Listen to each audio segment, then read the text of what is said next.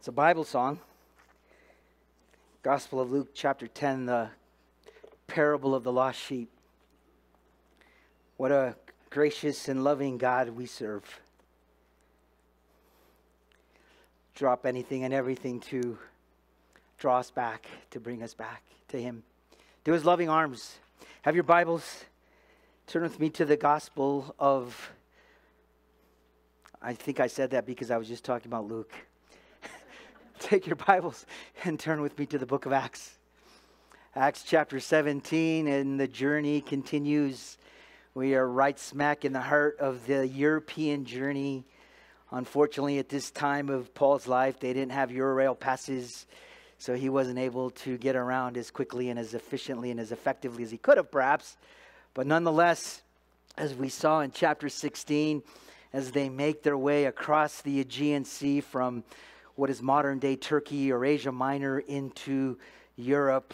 Um, God has opened this tremendous door to reach the planet with the gospel, the good news, the death, burial, and resurrection of Jesus Christ. We sit here today because of what we've been witnessing and what we've been reading about in the, the book of Acts. This book being nothing more than God's plan God's journey for us as individuals and also as a church as He begins to birth this very unique entity called the church. We are called this morning Ascent Bible Church, which simply means an assembly of people.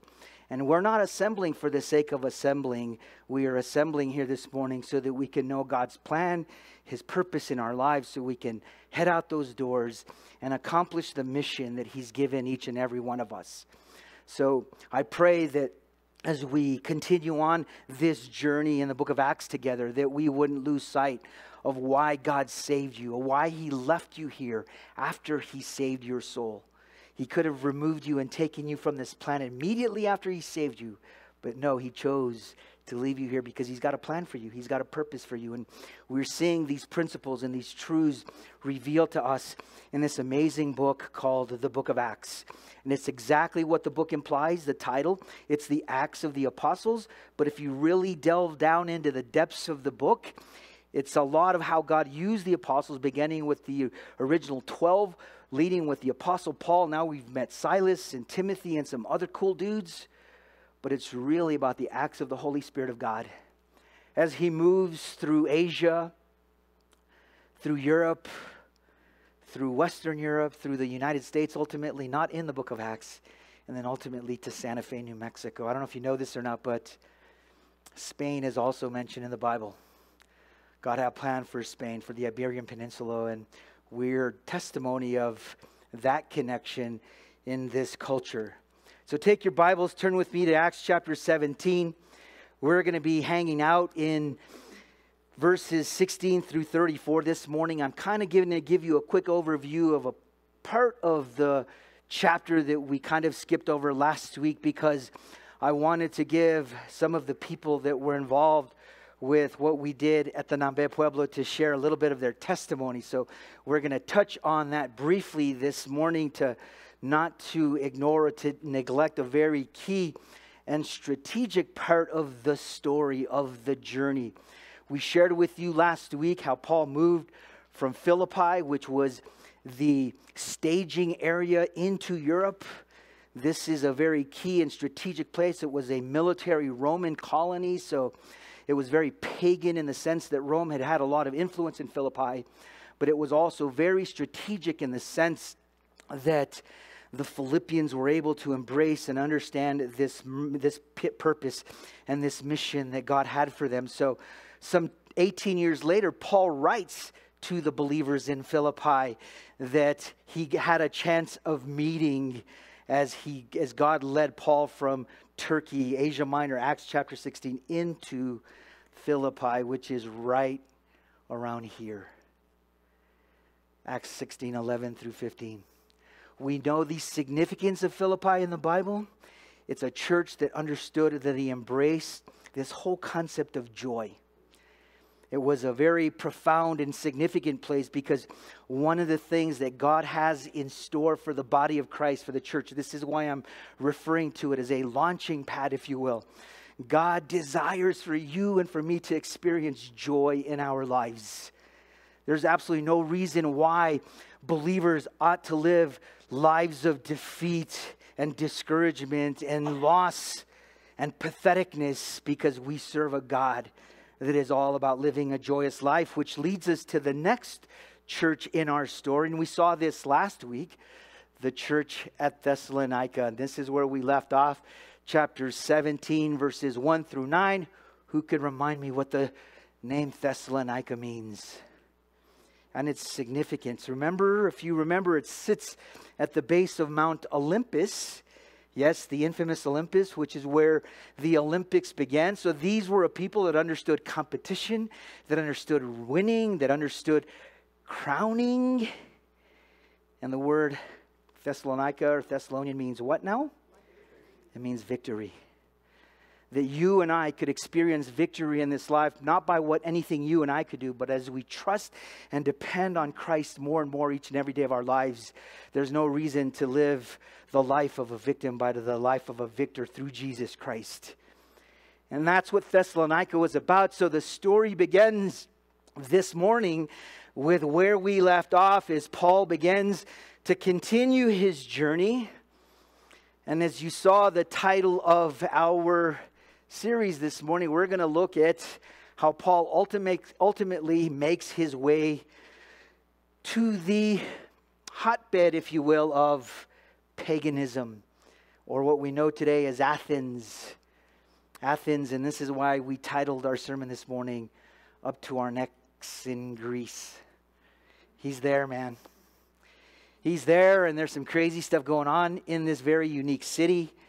But until we get there, let me share with you a couple thoughts about this place that we find in our text in chapter number 17, known as Berea. We didn't look at these verses last week, but let me just go over them so we don't lose sight of its role and its significance as Paul moves and the Holy Spirit of God is moving them from Philippi to Thessalonica to Berea and then ultimately to Athens, which is where we're going to be camping out this morning.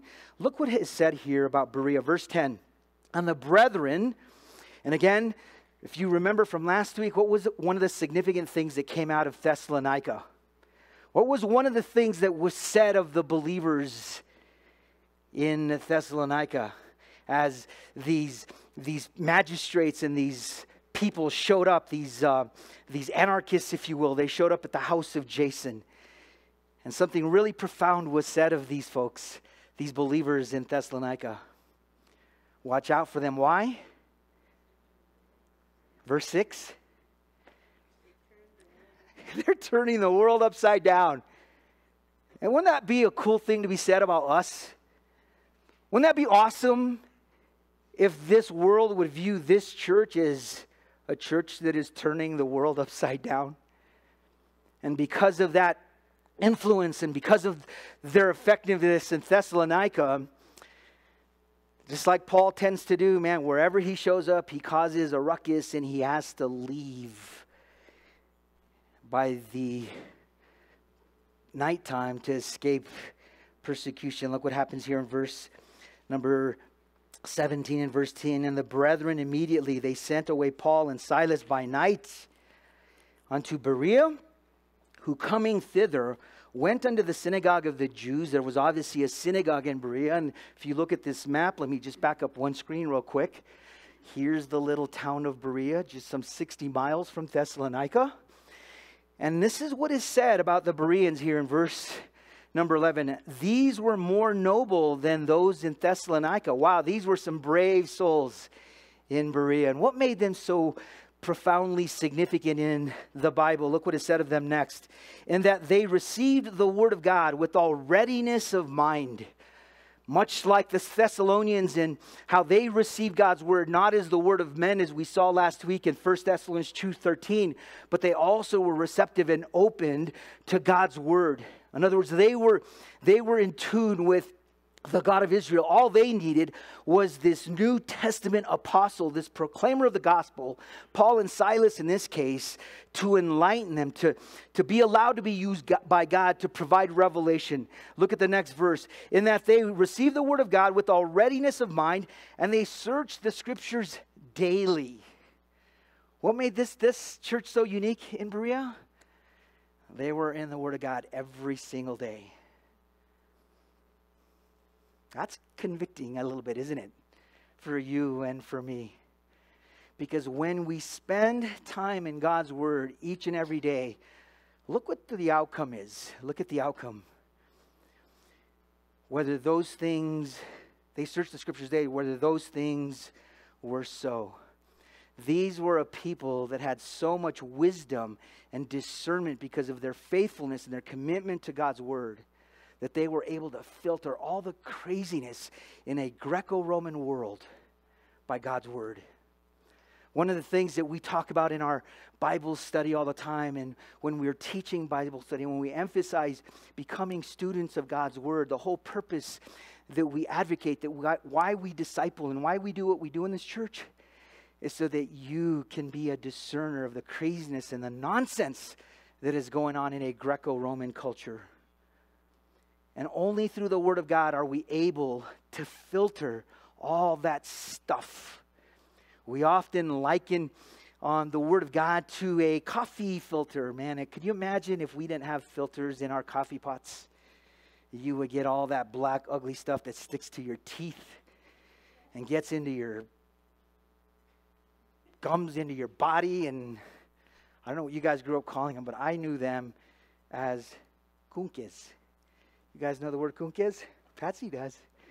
I don't like the way kunkes feel in my teeth grounds, coffee grounds are cunques for you non norteños. Here's what the Word of God does for you it filters all the craziness and the nonsense in your life. And this is what you see happening on with these Bereans. Look with me in verse 12.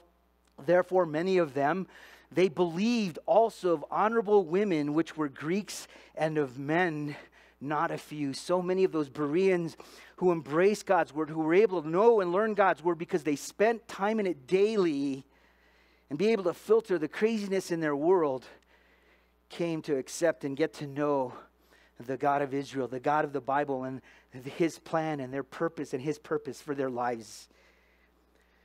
And here's verse number 13 again. Paul always causing a ruckus. Says in verse 13, but when the Jews of Thessalonica had knowledge that the word of God was preached of Paul at Berea, they came thither also. And they stirred up the people, right? Whenever you see God moving, again, I'm going to bring to light again the religious crowd or the religious folks, or Satan will always counter.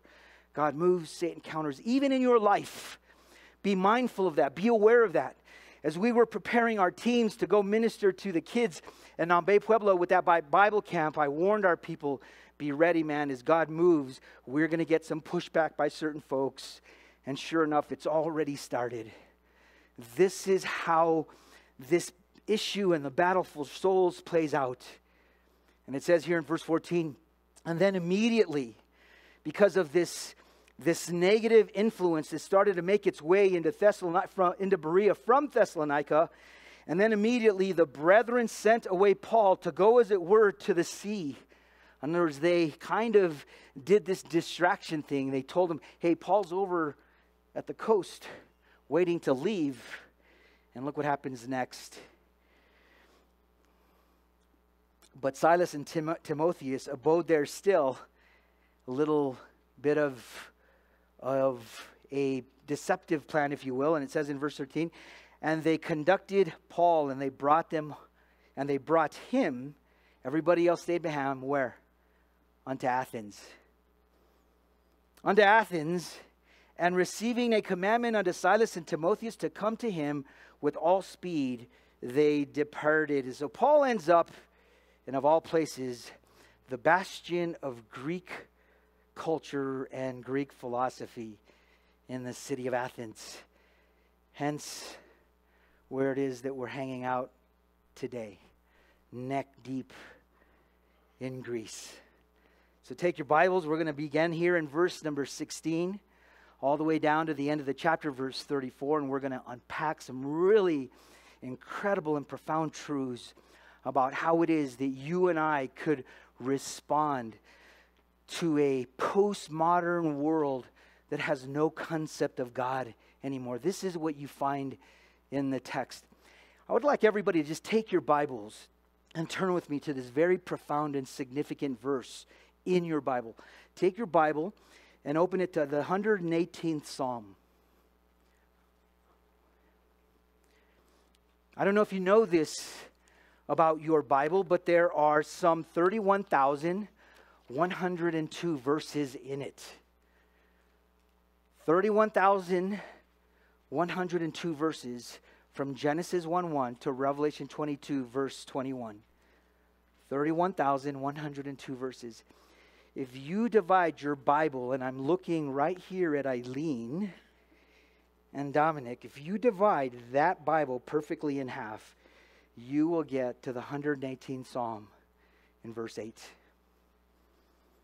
And this is what the middle verse, or how the very middle verse of the Bible reads. And there's 15 words in this verse, by the way.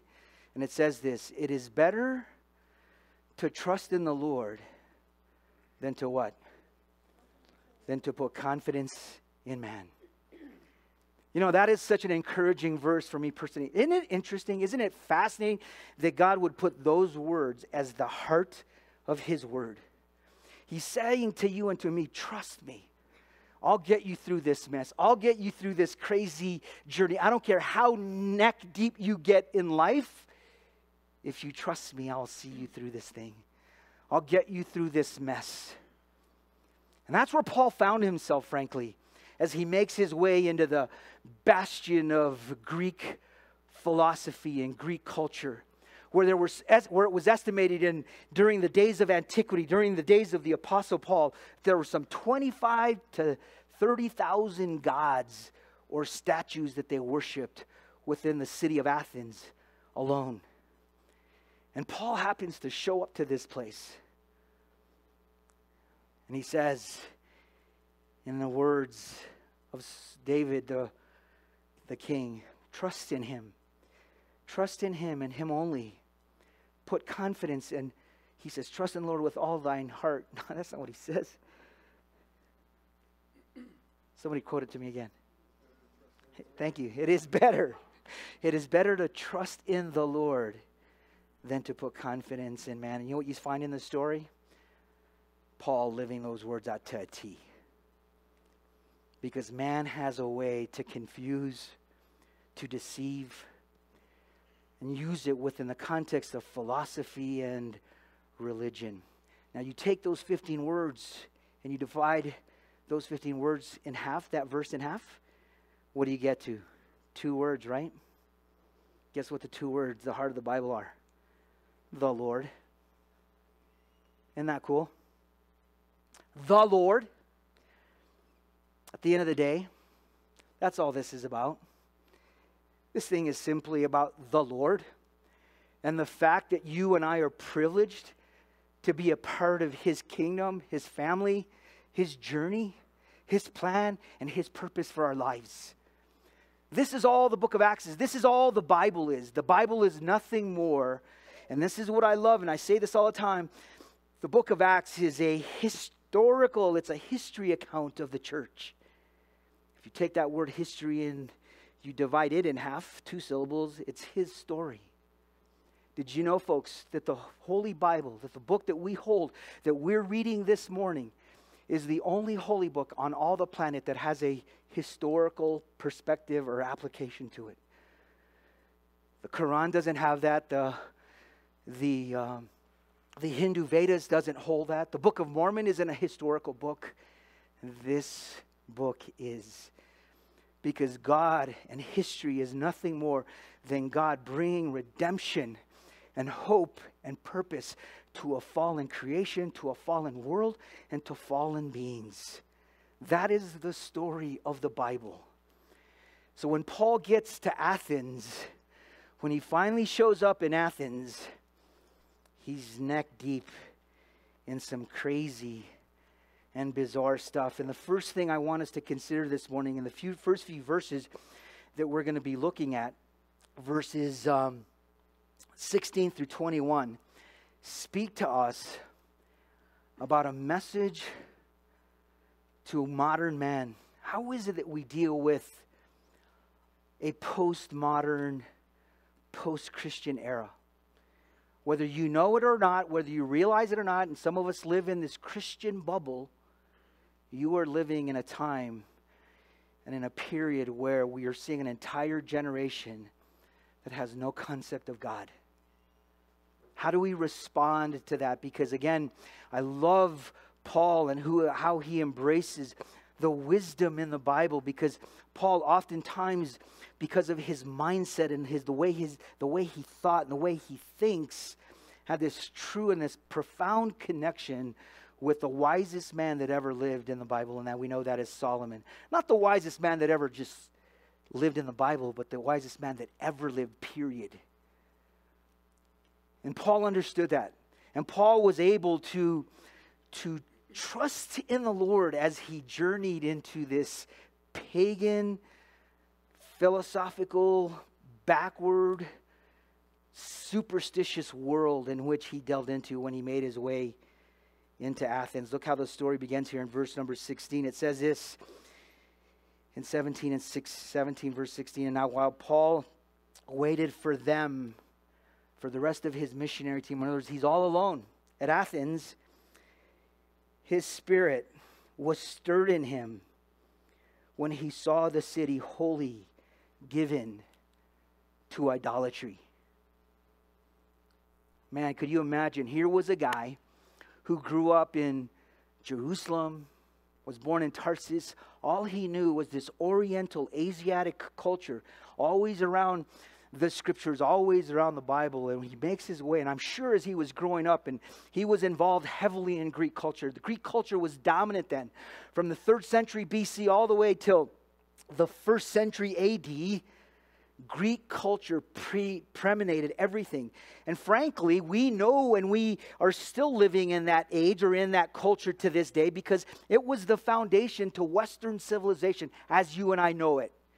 This is why always, whenever I'm teaching the Bible, I remind people that we are living in a Greco Roman world, in a Greco Roman culture, because this is where Western civilization, as we know it today, began. So, this is what he's dealing with. This is what he's confronting. This is what he's seeing. And I, am sure being Paul and, and being this, this bookworm, this student, not just of the word, but also of history and of cultures, couldn't wait to get to Athens, to see and to embrace and consider the greatness of this city. And he shows up and he's just blown away with what he's witnessing. I had a similar experience a few years ago when we went to Jerusalem. I'll never forget, we got there in the evening. It was already dark. We checked into the hotel, and I told Larry I couldn't wait to go into the old city. I said, you know what? You stay home. You stay in the hotel. I'm just going to go check things out. And she's really concerned. I said, don't worry about me. I look like a Muslim. I look like an Arab. I'll be okay. I'll be just fine. Knowing that we were in the Muslim quarter of the old city, I went in through the Damascus gate, and I had no idea where I was. But all I was able to witness and observe was this incredible city, which is called the City of David, the City of Peace, and divided into four quarters based on religion. There's the Armenian quarter, the Christian quarter, the Jewish quarter, and the Muslim quarter. Dividing the old city into four quarters because of religion. And I remember thinking and how heartbreaking it was knowing and realizing that there was a God that God shed, that gave his only precious son to die for everybody in the old city so that they could become one in him. How heartbreaking it was.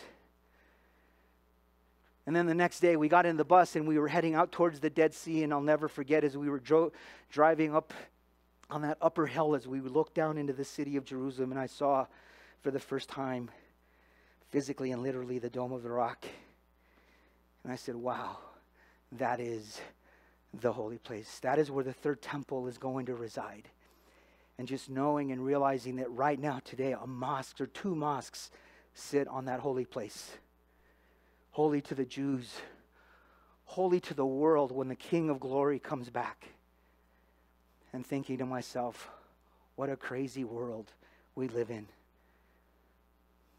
Two weeks ago, after we took the folks, the, the Ohio, uh, the Ohio team stuck, stuck around. They stuck around.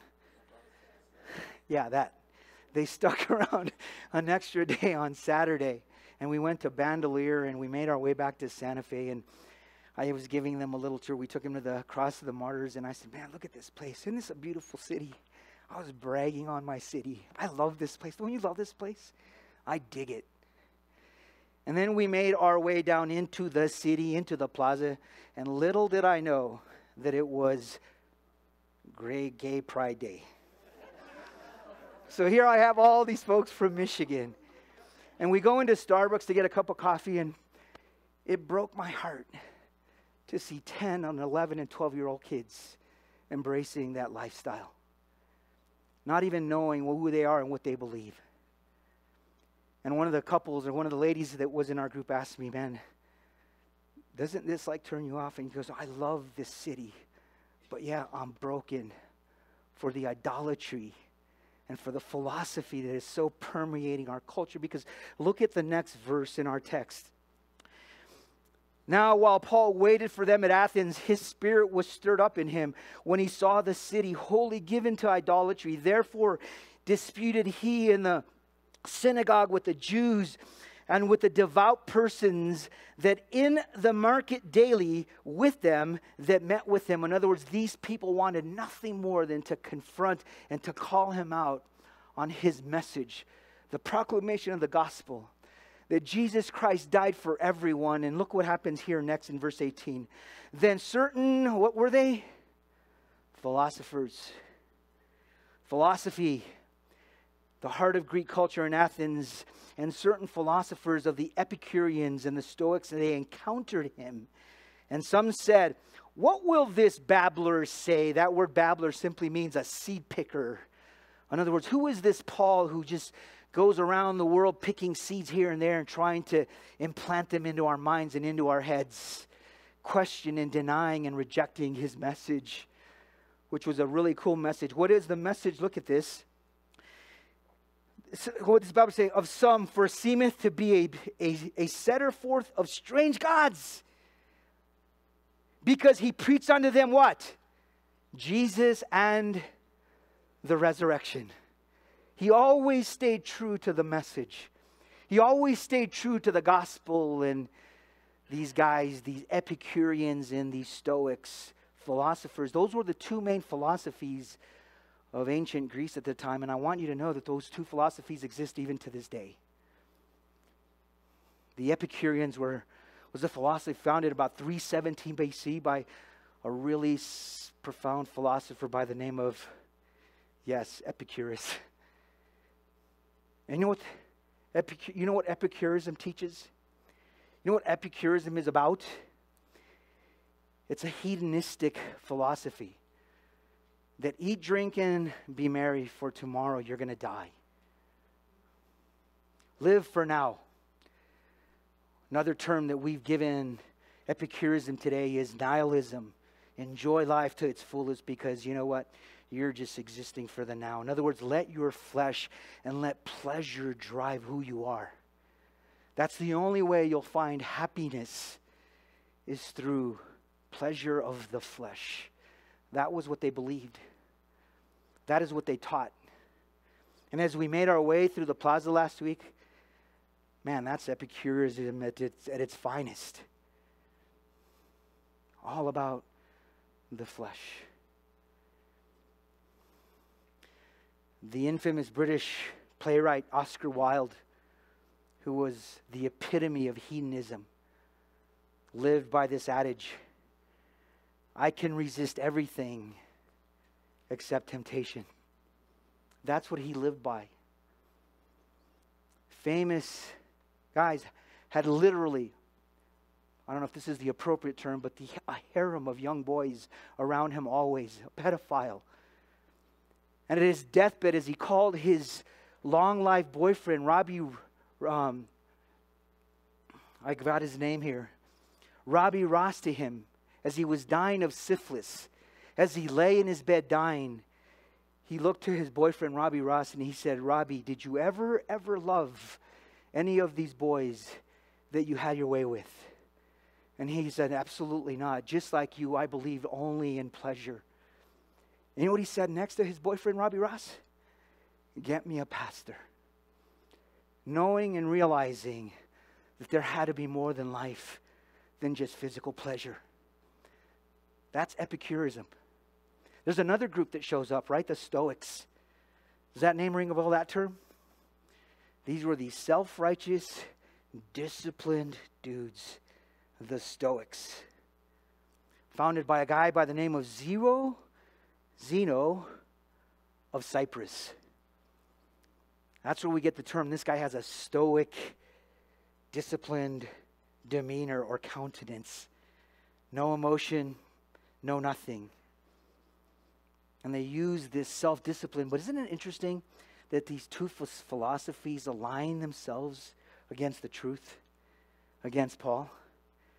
But here's an adage, and here's a thought to consider that throughout history and throughout, as you consider the condition of the human condition, this always plays out that the enemy of my enemy is my friend.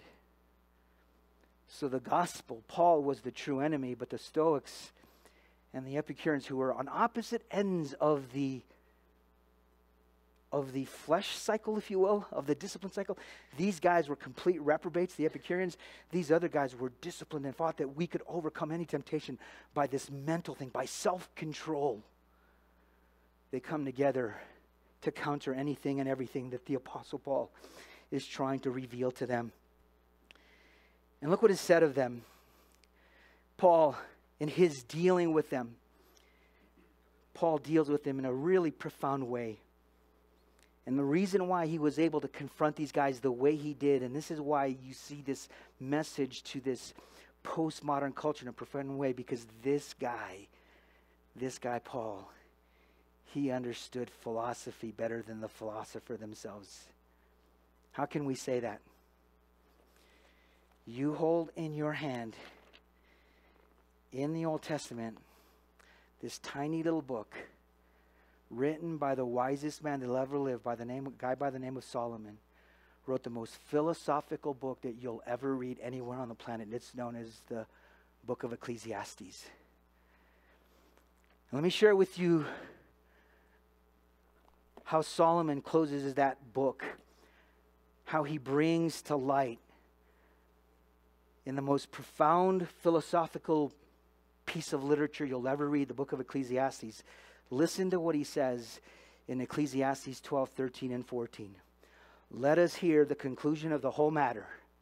In other words, when all is said and done, he says, Fear God and keep his commandments, for this is the whole duty of man. Reverence him, know him, love him be obedient to his plan and his purpose for your life. And watch him. Watch him transform you. Watch him take you to another place and another level. He'll take you places you never imagined. And it says in verse number 14 For God shall bring every work into judgment, every secret thing, whether it be good or whether it be evil. That's how Ecclesiastes ends. Written by none other than the wisest man in the history of mankind, other than the Lord Jesus Christ, Solomon.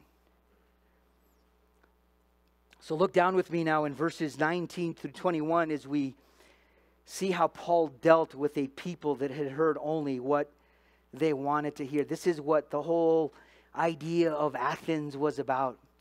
In other words, they would gather just to glean from each other and just get bigger and brighter heads. Tell me we don't live there today. This is why everybody and their mother writes a book today. So they can go on a book tour and get on the talk shows and show off what they know or, in most cases, what they don't know. Because the only thing that matters in life is reverence Him and be obedient to His plan and His purpose for your life. Look what is said here in verse 19 to 21.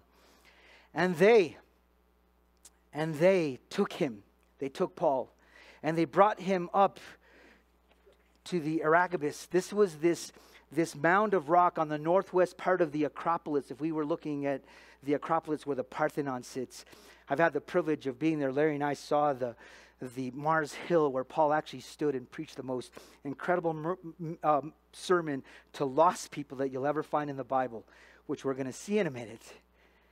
They take him up there, and this is where they would hang out to kind of try to glean wisdom from each other. Look what it says here in verse Numbers 19 through 21. And they brought, took him and they brought him to the Acropolis, saying, May we know what this new doctrine whereof thou speakest is?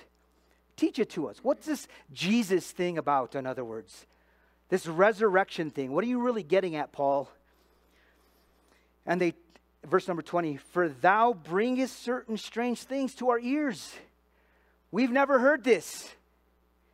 We would know, therefore, what these things mean. Verse 21, I love this. Holy Spirit stuck this verse right smack in the middle of the text in parentheses. What was their real motive? What was, again, this is why he sticks it in there. You, were they really sincere and genuine about knowing Jesus and his resurrection, knowing about his resurrection? Look what it said of them here in verse 21. For all, not just some of them, but all of them, but all the Athenians and strangers which were there, they spent their time in nothing else but either to tell or to hear some new thing. There's their motive. Enlighten me. Reveal to me. Let's philosophize, never really concerning themselves with eternal things, purpose, and why God created them, and why God existed, and why God did what He did. Which brings us to the next point or the next principle which is Paul's message on the infamous Mars Hill. The Areopagus sat on top of Mars Hill. It was kind of like their little coffee shop area, if you will. You ever go to coffee shops, hang out at coffee shops? You can solve all the world's problems. Right, Isaac? You and I have solved how many world's problems over a cup of coffee? That's what they were doing in Athens. They would hang up on this, this rock, looking over the city sharing all these cool thoughts and ideas. Why do birds fly? Why is water wet? That's philosophy. Circular reasoning. Never coming to the conclusion of the whole matter. Love Him, reverence Him, live for Him, and watch Him rock your world. So, Paul now he brings this message at Mars Hill. It says here in verse number 22 Then Paul stood in the midst of Mars Hill and said, Ye men of Athens, I perceive that in all things you are way too superstitious. Even the Epicureans who were agnostic or even atheist to some degree, everybody, everybody believes in something. And if you're not going to believe in something, if you're not going to stand for something, somebody else you know, somebody will show up in your life or somewhere at some point in your journey that will deceive you to get to believe some craziness. During the time that we were preparing for the camp, there was a huge gathering of people from all of northern New Mexico, southern Colorado, who knows where they were from, at the Buffalo Thunder to listen to, not even to listen to her because she doesn't really speak, to Amma. Yes, a Hindu deity goddess woman who makes her way up to northern New Mexico once a year at Buffalo Thunder. You know what she does? She gives people hugs.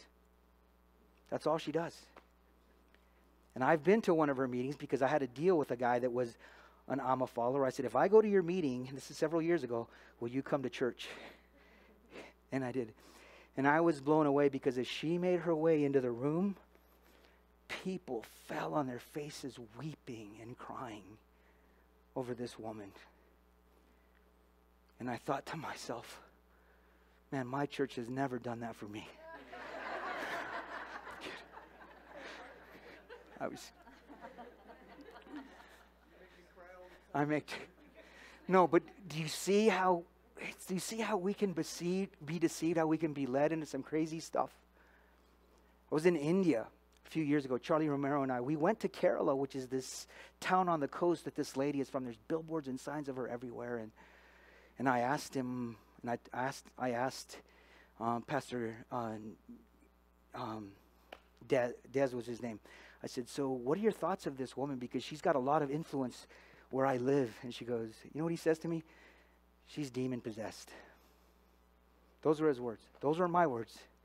I said, Okay. I left it at that. And I never went back to another Amma meeting.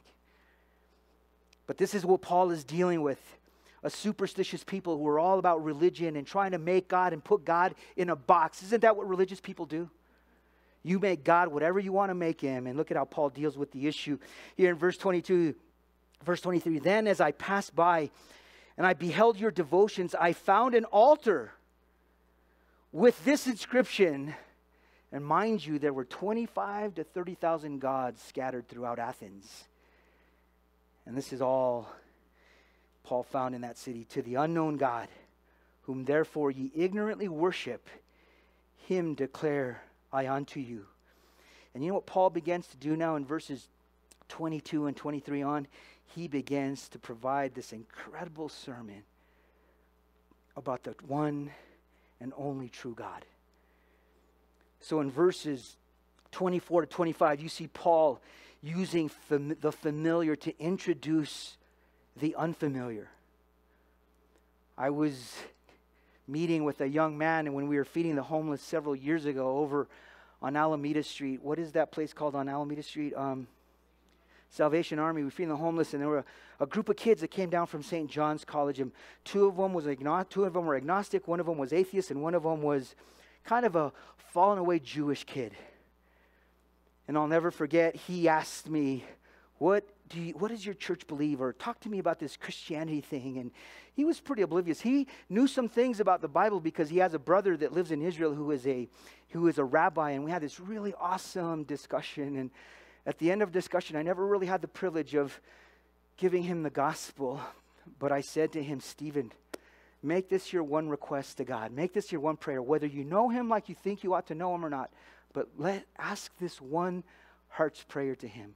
Ask him to reveal himself to you. Make that your prayer. Keep it that simple.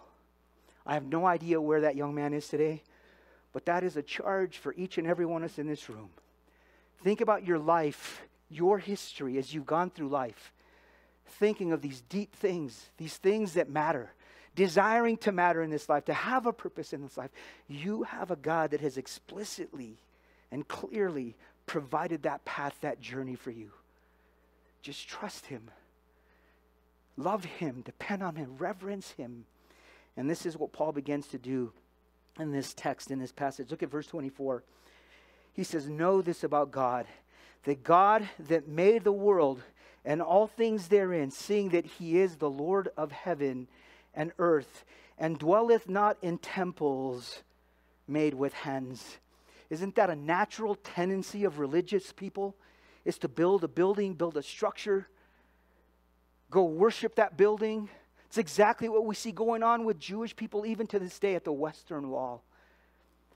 Where you serve a God who is a spirit, and those that worship him, he said to the Samaritan woman in John 4, will worship him in spirit and in truth. True worshipers. And this is what Paul begins to drive home that we serve, that the God that you that you worship, the gods that you worship, the real and true God is the creator of the universe. He is the creator. You can't go one verse in the Bible, Genesis 1 1, without his creative nature being identified and expounded on.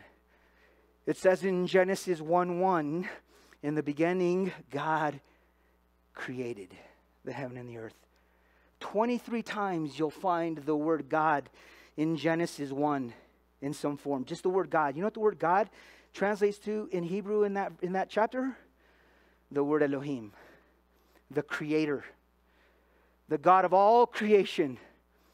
I don't know about you guys, man, but we live in a very, very cool place when it comes to embracing his creative nature. Just go and look at the night sky tonight sometime and see his, his, his glory.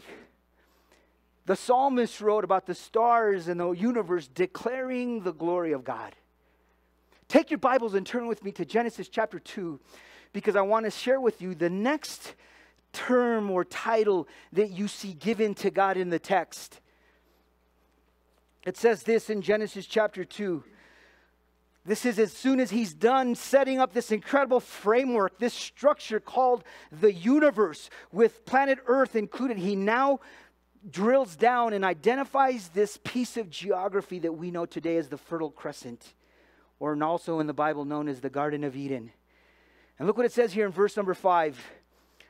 These are the generations of the heavens and the earth when they were what? They were created in the day that the who created them. Get the text right. What does it say? The Lord God. The Lord God. First time you find the word Lord in Scripture. Never in Genesis 1 because he's all Elohim in verse 1, chapter 1. But here in chapter 2, now he's going to begin becoming the provider. Look at the next verse it said, look at verse 7. And the Lord God, not just God, not just Elohim, but the Lord God formed man in the midst of the ground, and he breathed into his nostrils the breath of life, and man became a what? A living soul. The Lord God breathed into you, and you became a living soul. So you weren't just a creation, he had a purpose for you. And now go back to our text back in, uh, back in uh, Acts chapter 17. Because look at the next part of the verse here in verse 24. And God made the world, there's Elohim, and all things therein, seeing that he is the what? The Lord of heaven and earth. You know what he wants to do? He wants to be Lord of your life. He wants to know that he could breathe life into you, that you matter to him, that he cares for you, that he loves you, that he's not this disconnected God that most religions teach about. Paul in his only prayer and his only desire in the book of Philippians, chapter 3, he says, Man, I just want one thing in life. I just want to know him. How can you trust someone that you don't know? Remember the verse, 118 Psalm verse 8? Trust. No. It is better to trust in the Lord. How can you trust a God you don't even know? Look at the next verse. Not only was he presented as the creator and as the provider of life, Paul presents him in verses 26 and 27 as a personal God. It says this in 26 And God hath made of one blood all nations of men for to dwell on all the face of the earth and hath determined the times before appointed and the bounds of their habitation. He says in that verse, man, that his shed blood on that cross covered the sins of all mankind. What I love about God and the God of the Bible, he transcends, he transcends religion, he transcends race, he transcends culture. You know what he says of us? That you're all one big happy family in me because of the shed blood of Jesus Christ. And he says, Man, you serve a God that has shed his blood for you, that wants to include you, listen to this, into his family, to make you a part of his plan, his purpose, and his journey in our lives. So Paul presents him as the Redeemer. He pre- presents him as a sovereign God where he talks in the text in this verse about God orchestrating timing and events. Remember, we talked about that a few weeks ago? It's no coincidence that he put you in this place at this time. Remember the book of Esther, Esther chapter 4, verse 11, I believe it is, when God called Esther out and he says, Man, God put you in this place. God is using you in this journey to bring hope and restoration to these captive people that are in Babylon for such a time as this. He didn't stick you guys back in the turn of the century. He put you here for a period, for a time and now, for a purpose. I wake up every single day and I'm grateful for where I live, not just because of its beauty, but because of the, the awesomeness of the freedoms that we get to live in this country. And I didn't end up in Bangladesh. Not that Bangladesh is bad, I wouldn't want to live there. Maybe some of you would. But man, I'm so grateful for where I live and the time I live in. And that's what, that's what he's trying to drive home. That we're dealing with a personal God that cares about your everyday. Man, he knows the hairs on your head. And on some of you, it's a lot easier to count than others, and I realize that. Look at the next verse. He's a God in verse 27. I love this that is accessible, that they should seek the Lord. If haply they might feel after him and find him, though he not be far from every one of us. He's telling these guys that had no concept of God, who were stuck in their Epicurean, selfish pleasures philosophy or this stoic, self centered, self help mentality, that you serve a God that understands your pain, your suffering, that desires to comfort you, to know you. And he bids us to come. Come therefore boldly unto the throne of grace. Come unto me, all ye that are burdened and heavy laden, the Bible says, Jesus says, and I shall give you what? Rest. Isn't rest a good thing? Spiritual, man. He wanted these guys to know Jesus. And in verses 28 and 29, Paul presents God as the sustainer of life. Look we in 28. For in him, for in him we live. That's what the resurrection's about. He wants you to live a life of purpose. Jesus' is promised to you and to me is a life that is fulfilling. The thief, he says, comes to steal, kill, and destroy, but I have come to give you life and a life more abundantly. He's the giver of life.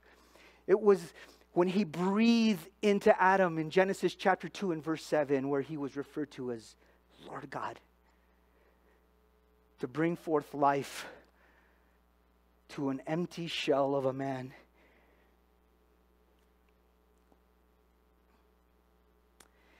For we live and we move and have our being as certain also of your own poets have said, for we are also his offspring. And in that verse, he's quoting some ancient poets. A guy by the name of Erastus who looked at Zeus as the giver of life. Zeus was nothing more than a Greek philosophical view of the creator God.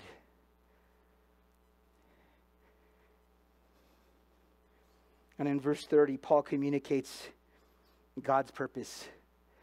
You need to get this, folks, because this is the key to life. Look at verse 30. And the times of this ignorance, God winked at. In other words, He's showing grace towards a people that had no concept of who He was. Do you remember all the days that He showed grace towards you as He waited for you to receive Him, to accept Him? As you were seeking Him and, and, and you sought Him out in your heart. He says, I'm going to lead them places. I'm going to take this person a place so I could reveal myself to him. And you know what? During that journey, God's, he's winking. But look why. Look what happens. Look what his expectation of us is. But now he commandeth all men everywhere to what? To repent, to come to him, to change.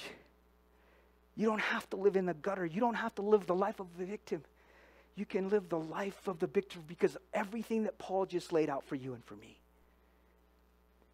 Because the last principle that I want us to be mindful of is this whole idea that Paul's message also is for the masses. And in verses 31 through 34, you find and you see a warning, a very dire warning.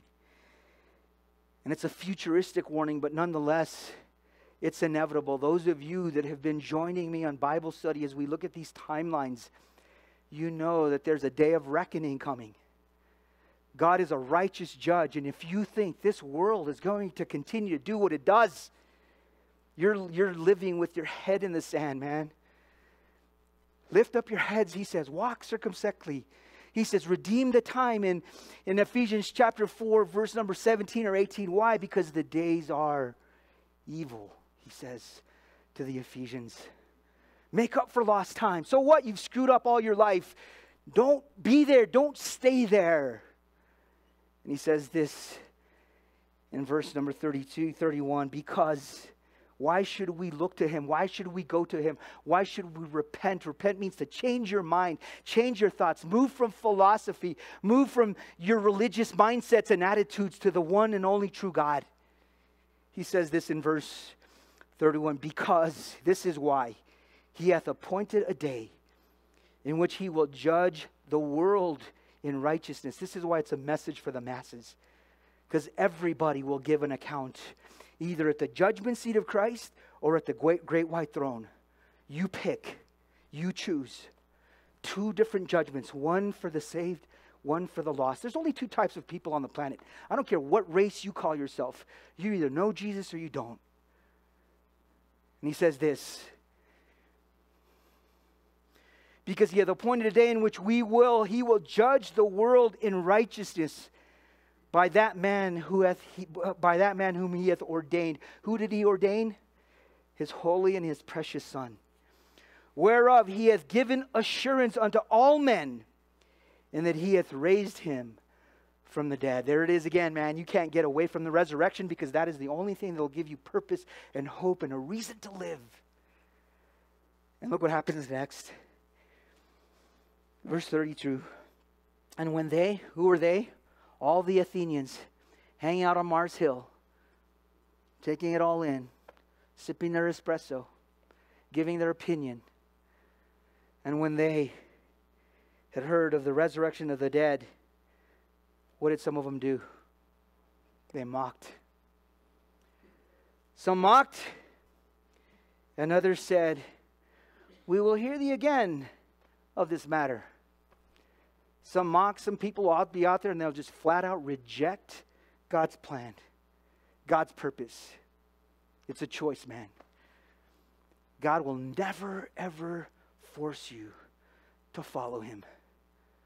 God will never, ever, if, if, if He wanted that, if He created us to be like that, He could have just made a bunch of robots. But no, He gave you a thing called free will. And that is the cool thing about God. And this is why the last things that, that, that Moses says to the children of Israel as they're entering the promised land, he says to them, Choose this day. Blessing or cursing, life or death, but you choose. It's a choice. And some people to this day will mock and choose to reject eternity, life, purpose and this is why we have an entire people group, an entire generation with, that, are that is infested with drugs and alcohol and anything and everything to, to fill that void, that God shaped void in each and every one of us that only He can fill. And so mocked. And what did the, this other group do? Look at verse 32. And we will hear this again of this matter. You know what these guys did? Like some of us have done in our lives kick the can down the road. Let me think about it. Well, guess what, folks? There isn't a person in this room guaranteed tomorrow. You're not. I don't mean to freak you out or scare you, but that's, that's a fact. Any one of us could leave this planet today.